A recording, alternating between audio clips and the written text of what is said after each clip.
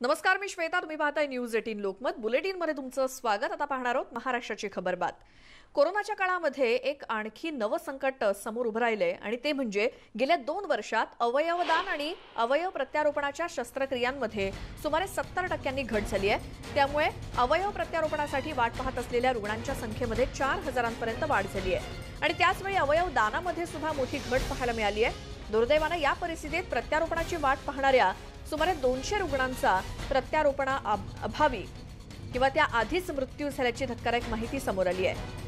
कोरोनाच्या परिस्थितीमुळे आर्थिक समस्यांना देखील सामोरं जावं लागतंय. कोरोनामुळे अवयव दान करणाऱ्यांच्या संख्येत देखील घट होते त्यामुळे सरकार दरबारी याची दखल घेतली जाणार का असा प्रश्न उपस्थित होतोय. दोन वर्ष जे आपल्या सगळ्यांनाच कोविडने वेढलं होतं त्यामुळे जे काही नंबर ऑफ ट्रान्सप्लांट्स म्हणतो आपण म्हणजे ट्रान्सप्लांट्सची संख्या ह्या दोन हजार वीस साली आणि दोन हजार एकवीस साली डेफिनेटली कमी झालेली आहेत. म्हणजे हे फक्त ब्रेनडेड पेशंट्सकडनं किडनी मिळून आपल्या पेशंटना कॅडेवर ऑर्गन ची किडनी मिळाली आहे यातच असं नाही. जे काय लाईफ डोनर ट्रान्सप्लांट म्हणतो आपण म्हणजे सख्या नातेवाईकांनी जे किडनी देतं हे पण नंबर्स गेल्या दोन वर्षात पन्नास टक्क्यावर साधारणपणे कमी आलेले आहेत. बरेचसे उपचार केल्यानंतर साधारणतः एक दोन वर्षापासून डायलिसिस चालू आहे.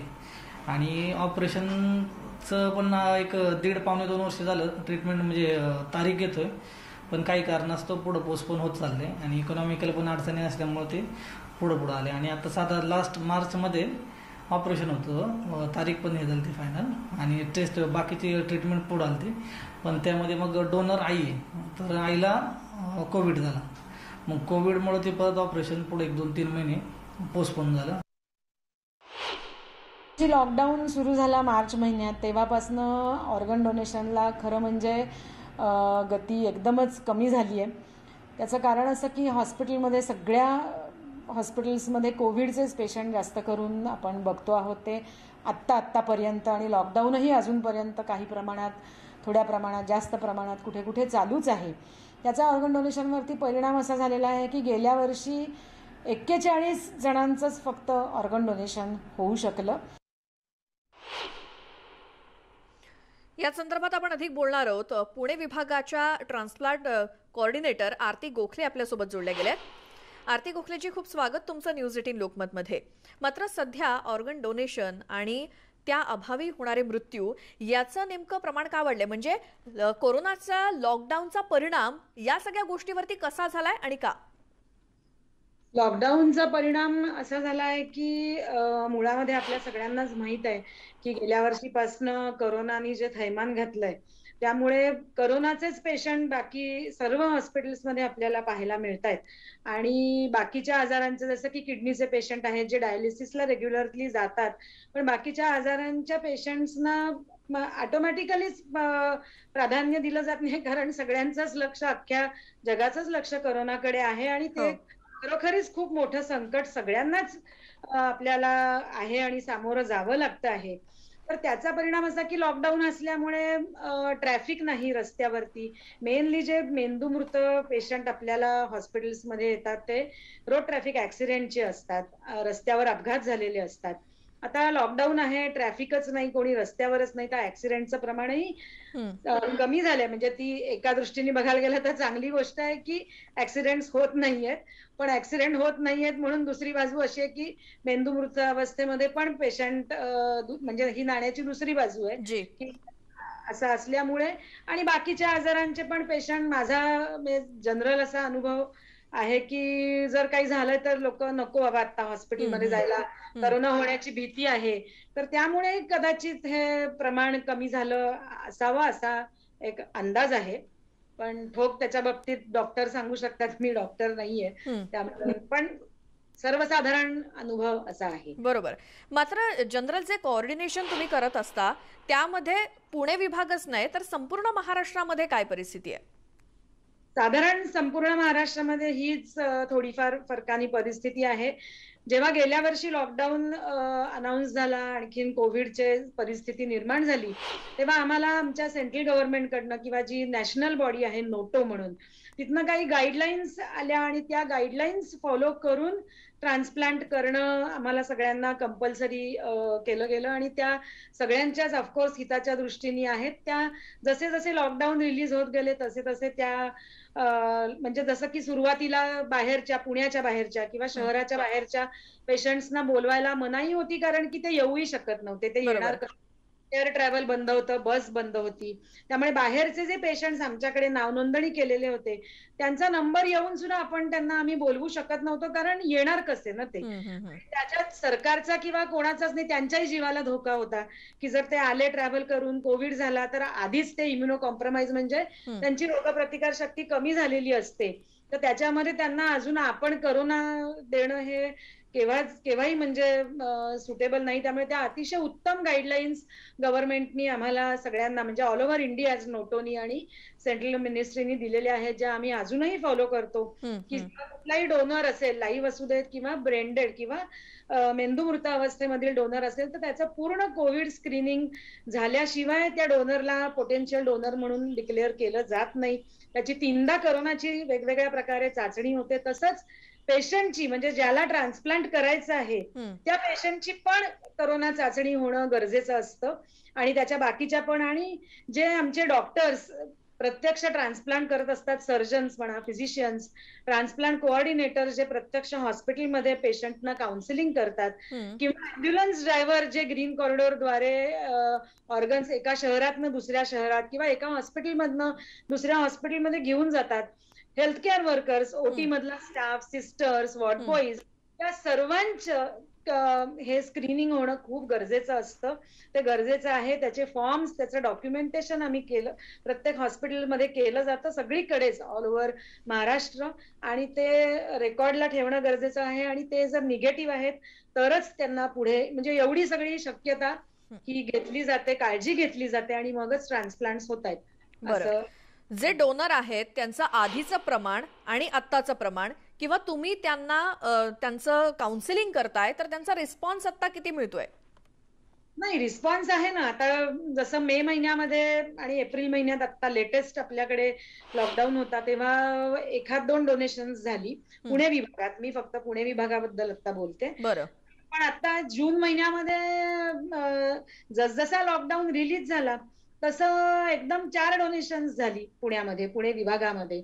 आणि काल पण एक लेटेस्ट म्हणजे आता अगदी आज मितीपर्यंत एक जून पासन पाच डोनेशन पुणे विभागात झाली. तसंच महाराष्ट्रामध्ये मुंबईत पण होत आहेत भारतामध्ये सुरतमध्ये किंवा गुजरातमध्ये पण ऑर्गन डोनेशनचं प्रमाण वाढतं आहे. जसे लॉकडाऊन रिलीज होत आहेत तसं याचा परिणाम ट्रान्सप्लांट वरती नक्कीच चांगला आणि पॉझिटिव्ह दिसतो आहे आता प्रमाण वाढत चाललंय किंवा ते वाढत जाईल मात्र जर एखाद्या पेशंटला अर्जंट कोणत्याही ऑर्गनची ट्रान्सप्लांटची गरज असेल तर मग त्या व्यक्तीला किंवा त्या पेशंटला कसं हँडल केलं जातंय?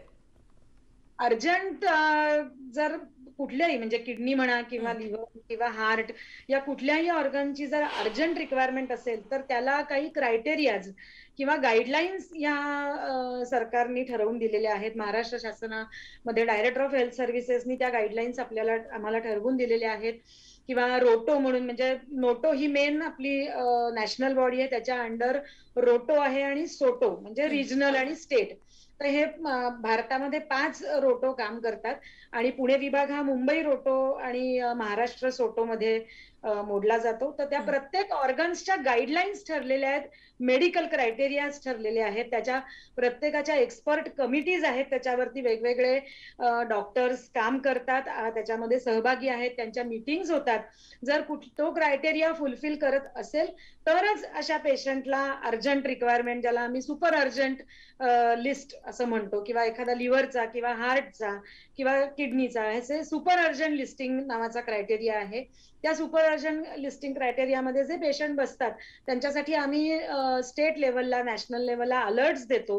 आणि मग लेवल सगळे मेडिकल क्रायटेरिया जर तो फुलफिल करत असेल तर त्यांना ऑर्गनची अवेलेबिलिटी प्रायोरिटीने दिली जाते. बरं. पण काही जरी म्हटलं तरी पण या लॉकडाऊनचा परिणाम अवयवदानावरती झालेला आहेच. त्यामुळे असे काही पेशंट्स आहेत का की ते अजूनही वेटिंगवर आहेत ऑर्गनसाठी?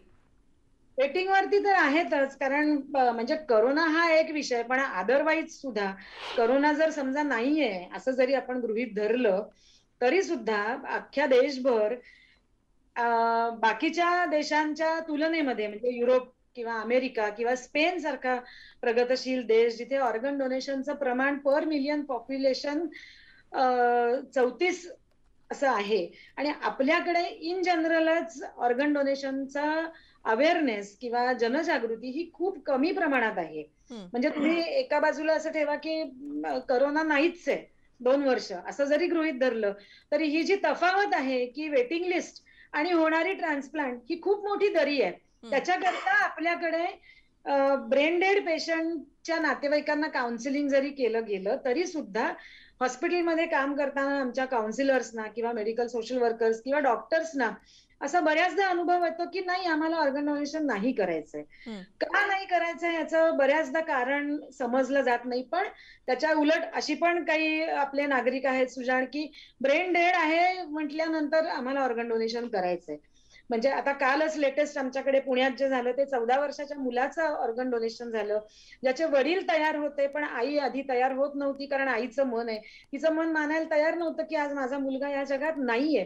पण शेवटी तिने मध्यरात्री दोन वाजता त्यांनी मान्य केलं ऍक्सेप्ट केलं जेवढे पॉसिबल शक्य आहे तेवढे सगळे ऑर्गन्स आमच्या मुलाचे घ्या.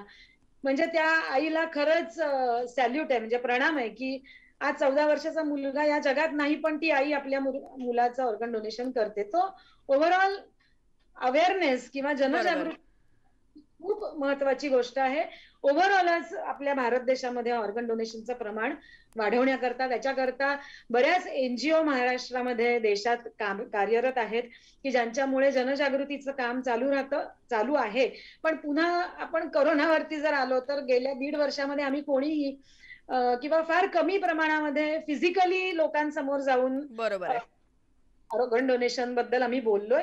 तर त्याच्याकरता सगळ्यांनीच अपग्रेड होणं खूप गरजेचं आहे म्हणून सगळ्यांना नोटो लेवल पासनं शासन महाराष्ट्र शासन भारत सरकार सेंट्रल गव्हर्नमेंट सगळ्यांनी सोशल मीडियाचा सध्या सपोर्ट घेतलेला आहे आणि त्याचा नक्कीच म्हणजे ट्विटर आहे इंस्टाग्राम आहे फेसबुक आहे. याच्यातर्फे आम्ही जनजागृतीचा कार्यक्रम करतोय आणि तो करत राहायला पाहिजे. त्याच्याकरता अवयवदानाचे फॉर्म्स भरणं पण आवश्यक आहे की जेणेकरून जिवंतपणे आम्ही इच्छा प्रदर्शित केली आहे की मरणोत्तर आमचं अवयवदान नेत्रदान किंवा त्वचादान किंवा बॉडी डोनेशन हे झालं पाहिजे. त्याच्यातनं कोणाला कोणाला तरी नक्कीच त्याचा फायदा होऊ शकतो.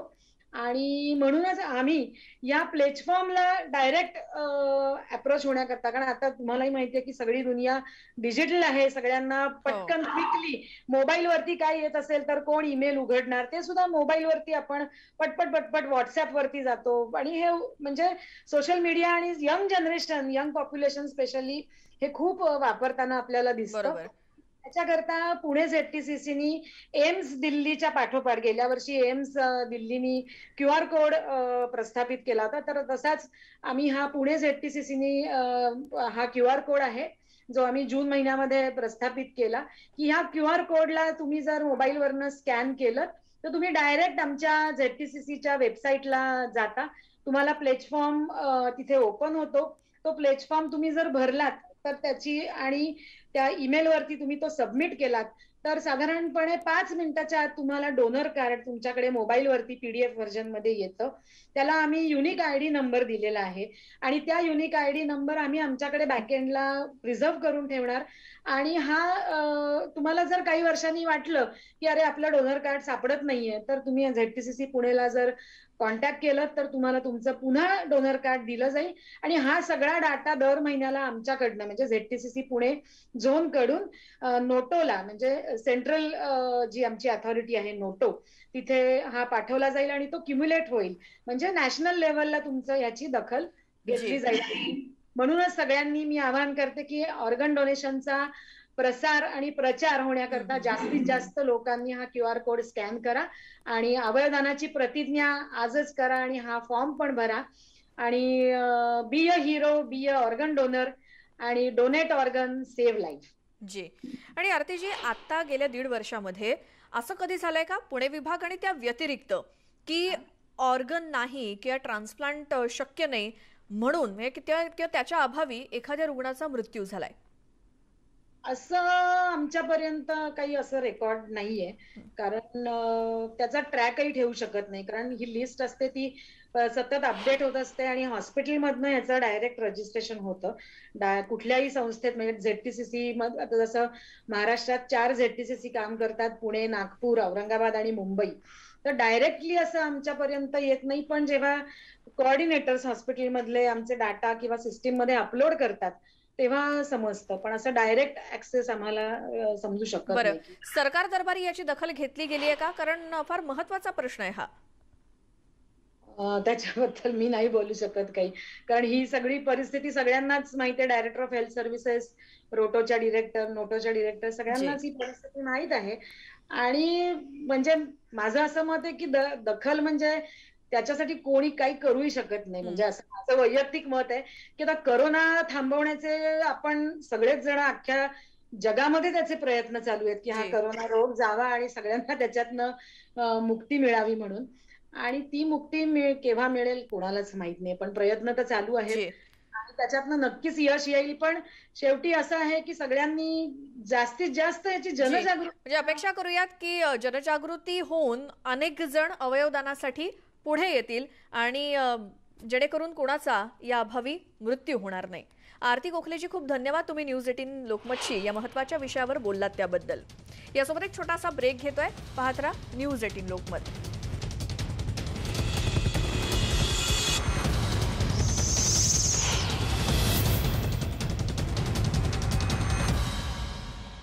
टाळी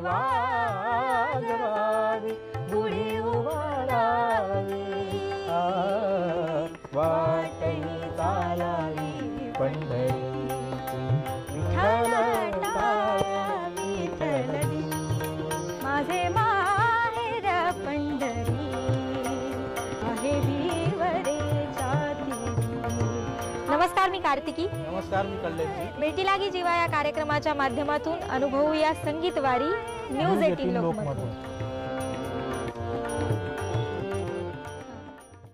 एक घडामोड पहा जगाच्या पाठीवर. फक्त न्यूज एटीन लोकमतवर. ब्रेकनंतर स्वागत आणि आता बातमी आहे कोल्हापुरातून. कोल्हापूर शहरासह जिल्ह्यामध्ये सगळी दुकानं खुली करण्यासंदर्भात निर्णय अद्यापही प्रलंबित आहे. त्यामुळे व्यापारी वर्ग पुन्हा आक्रमक होण्याची शक्यता आहे. मुंबईमध्ये दोन बैठका घेऊन सुद्धा अद्याप राज्य सरकारकडून त्याबाबत कोणताही निर्णय जाहीर करण्यात आलेला नसल्याची माहिती समोर येते त्यामुळे रविवारी रात्रीपर्यंत जर काही निर्णय झाला नाही तर सोमवारी सकाळी नऊ वाजल्यापासून दुकानं खुली करण्याचा इशारा व्यापाऱ्यांनी दिलाय. कोल्हापूर शहरामध्ये ग्रामीण भागापेक्षा कोरोना रुग्णांची संख्या कमी आहे. तसंच संसर्ग दर देखील कमी आहे. म्हणूनच शहरातली सगळी दुकानं सकाळी नऊ ते संध्याकाळी चार या वेळेमध्ये उघडायला परवानगी द्यावी अशी मागणी चेंबर ऑफ कॉमर्सनं केली आहे. व्यापाऱ्यांचं कंबरडं पार मोडून गेलेलं आहे. गेल्या सोमवारीच आम्ही व्यापार सुरू करायचं ठरवलं होतं त्याप्रमाणे आम्ही दुकानं सुरू केली होती. परंतु जिल्हा प्रशासनाच्या विनंतीला मान देऊन आम्ही पुन्हा थांबलो. जिल्हा प्रशासनाकडे सरकारला प्रस्ताव पाठवला की हे शहर आणि जिल्हा हे वेगळे घटक केले तर कोल्हापूर शहराची लोकसंख्या आणि त्याचं असलेलं पेशंटचं प्रमाण हे सरकारच्या लेवल थ्रीच्या निकषात बसतं. त्यामुळे या ठिकाणचे व्यापार सुरू करायला परवानगी दिली पाहिजे. परंतु चार दिवस झाले सरकार अजून कुठलाही निर्णय घेत नाही. सरकारला व्यापाऱ्यांच्या समस्यांचं गांभीर्य नाही असं आमचं मत झालेलं आहे. त्यामुळे येत्या सोमवारी पाच तारखेपासून रोज नऊ ते चार कोरोनाचे संबंधित सर्व निकष पाळून आम्ही आमचे सर्व व्यापार सुरू करणार आहोत. त्यामुळे कुणीही काही निर्णय घेऊ दे अथवा न घेऊ दे आम्ही आमच्या निर्णयावर ठाम आहोत. या संदर्भात आपण आणखी बोलूयात. कोल्हापुरातून चेंबर ऑफ कॉमर्सचे अध्यक्ष संजय शेटे आपल्यासोबत फोनलाईनवरती जोडले गेलेत. संजय शेटे स्वागत तुमचं न्यूज एटीन लोकमतमध्ये. सध्या तुमची काय भूमिका आहे? कोल्हापूर शहरातली परिस्थिती काय? आणि कोरोनाच्या स्थितीचा सगळा विचार करून काय नियम या व्यापारी वर्गासाठी असणं ही तुमची मागणी आहे?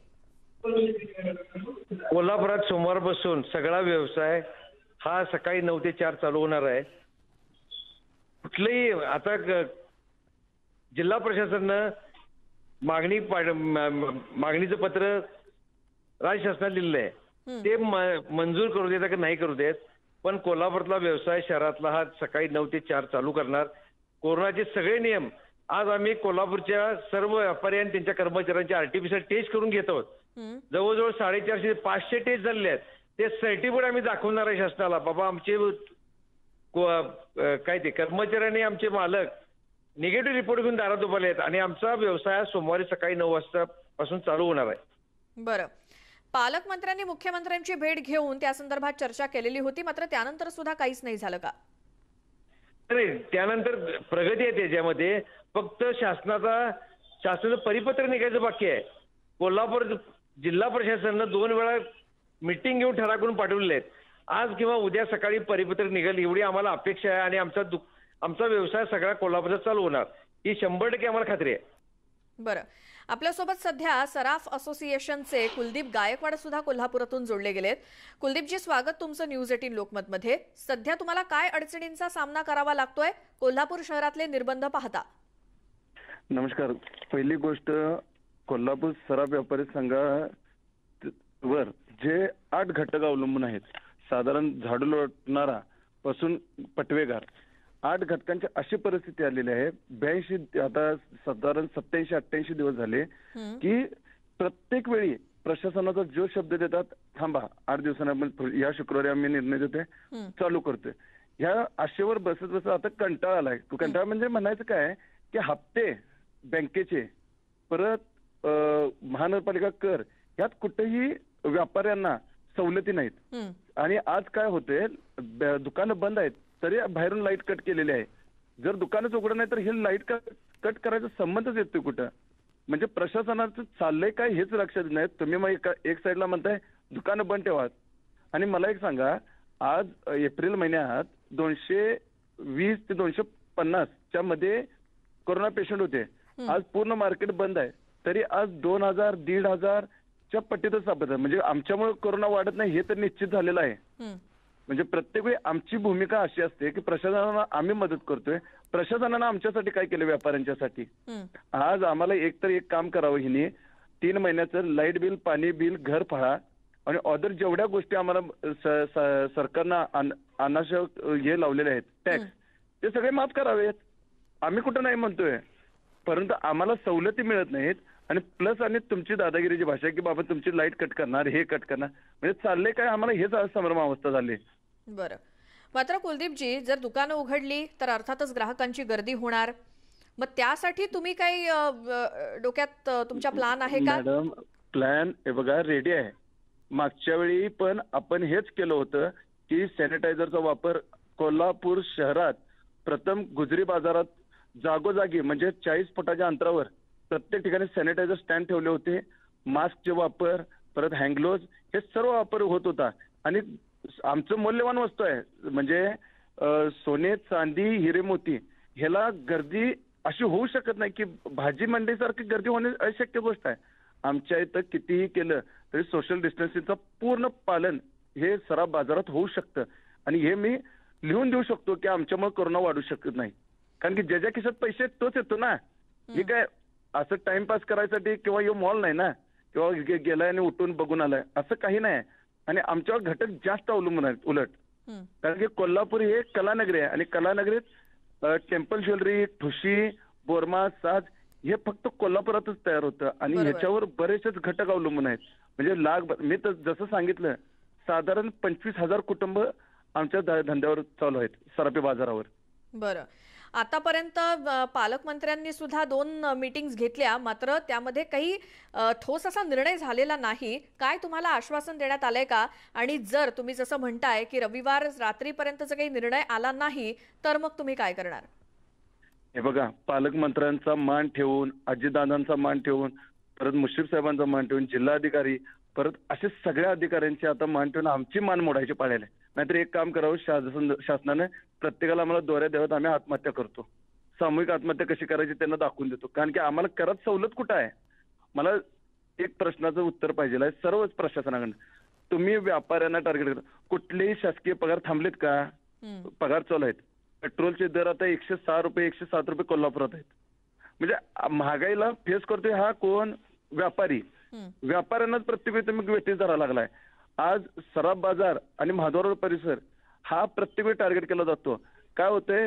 ते जर दोन गोष्टी बंद असल्या म्हणजे सराफ कट्टा आणि महाद्वार रोड म्हणजे कोल्हापूर बंद झालेला प्रकार होतो. अशा या परिस्थितीत प्रत्येक वेळी आम्हीच का टार्गेट आणि पालकमंत्र्यांना माझं एकच म्हणणं आहे की त्यांच्या आता सत्ता आहे महानगरपालिकेत. त्यांनी घरफाळा माफ करावा साताऱ्याच्या धर्तीवर. तेवढं तरी करावं. म्हणजे व्यापाऱ्यांना हे तरी वाटेल की बाबा आम्ही तीन महिने घरात बसलो त्याचा काहीतरी बेनिफिट आम्हाला झाला. आता पगार मॅडम प्रत्येक माझ्याकडे सोळा कामगार आहेत. त्यांचे पगार काढताना मला काय माझी कसरत चालली हे माझं मला माहीत आहे. मी आज अध्यक्ष आहे कोल्हापूर सराफ व्यापारी संघाचा. म्हणजे मी स्वतःच्या डोळ्यानं अशी परिस्थिती बघायला लागलोय की चांदी कारागीर असू देत किंवा काय त्यांच्या जे. कलाकार आहेत त्यांच्या पैकाच धुनी भांडी करायला जायला लागल्या कारण तुम्ही म्हणताय ते अगदी. बरोबर आहे हीच परिस्थिती आहे. सराफा असोसिएशनचे प्रतिनिधी आणि व्यापारी असोसिएशनचे प्रतिनिधी आपल्यासोबत असो आहेत आणि आपल्यासोबत बोलत होते. दोघांचंही हेच म्हणणं आहे. एक तर आम्हाला दुकान उघडण्याची परवानगी द्या नाहीतर मग आम्हाला भरावे लागणारे कर असतील किंवा लाइट बिल बिल असेल ते तरी माफ करा. याच संदर्भातली अपडेट आपण रोज घेत राहतोच आहोत काय नेमकी परिस्थिती आणि याच्यात काही बदल नियमांमध्ये होत आहेत का? या बातमीसोबतच वेळ झाली या बुलेटिनमध्ये इथेच थांबण्याची. मात्र एखादी बातमी पुन्हा पाहायची असेल तर यूट्यूब चॅनलला आमच्या सबस्क्राईब करा. तिथे तुम्हाला पुन्हा पाहायला मिळेल. आणि महत्त्वाचं आवाहन म्हणजे मास्क संदर्भातलं मास्क घाला आणि सुरक्षित राहा.